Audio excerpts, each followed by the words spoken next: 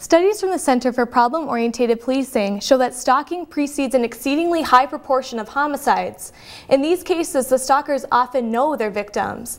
Advocate for victims of domestic violence, Deidre Keys, is here to share her insight on stalking. Thanks so much for coming on the show today. Thank you for having me, Katie. Now, you've been an advocate for victims of domestic violence for about nearly 20 years now. And That's correct. over those years, you've developed this interest in stalking. Yes. Exactly how do people define stalking? Stalking is defined as repeated and unwanted behavior that would cause a reasonable person to feel fear.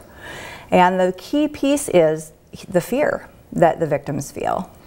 Um, you know, how concerned should we be about this issue of stalking? I think we should be very concerned. I, I look at stalking as uh, homicide prevention, that we really need to recognize this. 75% um, of women who are murdered by an intimate partner were stalked in the year prior to that murder. So it's definitely a concern. Now, 75%, um, you know, that is a huge statistic. How do you, you know, work to help people realize the severity of stalking?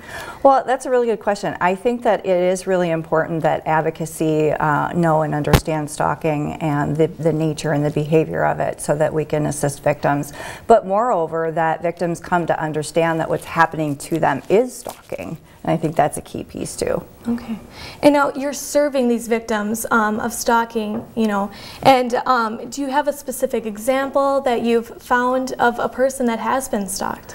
Yeah, I think that um, the, ma the main thing to understand about stalking is that it primarily happens in intimate partner relationships.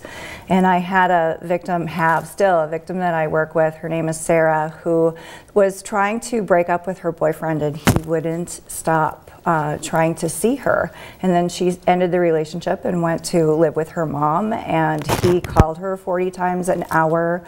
Uh, he would drive by her house and he even went as far as um, plowing the snow in her driveway up against the garage door so that she couldn't leave. And all of this can be defined as stalking. Oh my goodness. Well, I, I'm, sure, I'm sure that this, you know, um, constant contact is one of the key components of stalking. Yes. You know, um, how does this constant contact affect the victim that's being stalked? Victims are very um, prone to high anxiety.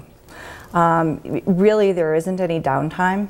It's very difficult to recover from stalking because it's always there, so that fear is really constant.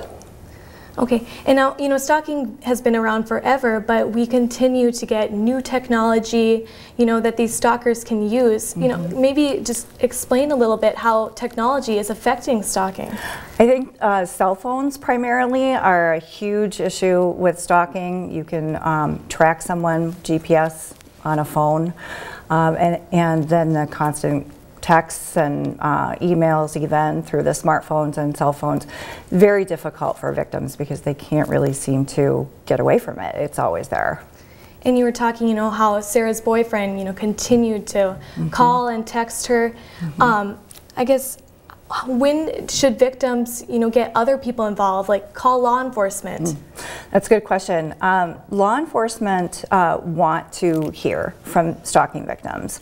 Um, it is a little bit difficult because usually when a victim will call, say for, um, say just for the phone calls, 40 phone calls in an hour, uh, law enforcement will generally not really see that as stalking yet. It will be one incident.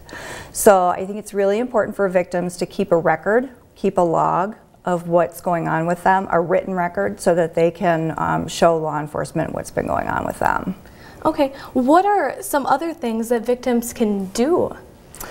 Well, I think one of the main pieces that I really try to get across to stalking victims is to seek assistance from somebody who knows and has knowledge and understands the nature of stalking because it is very uh, dangerous and perhaps lethal.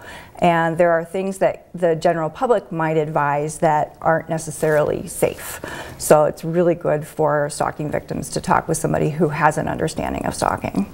And we actually um, have a link of another resource that they can go to. It's a mm -hmm. website, the National um, stalking website. Yeah, it's the National Center for Victims of Crime, uh, the Stalking Resource Center. There's a lot of really good information in there on defining the nature of stalking as well as how to keep safe. And the incident log is also on that website.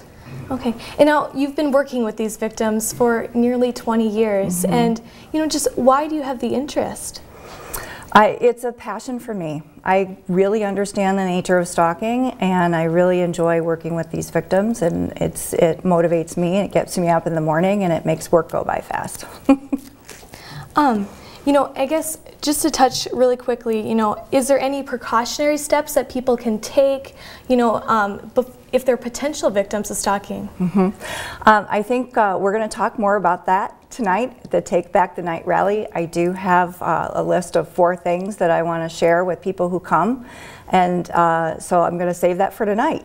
Oh, okay. well, um, yeah, the Take Back the Night rally, it's um, for victims of domestic violence, Mm-hmm. and um, that'll be great for the, all the people that attend. So thanks so much for coming on the show today. Thank you for having me.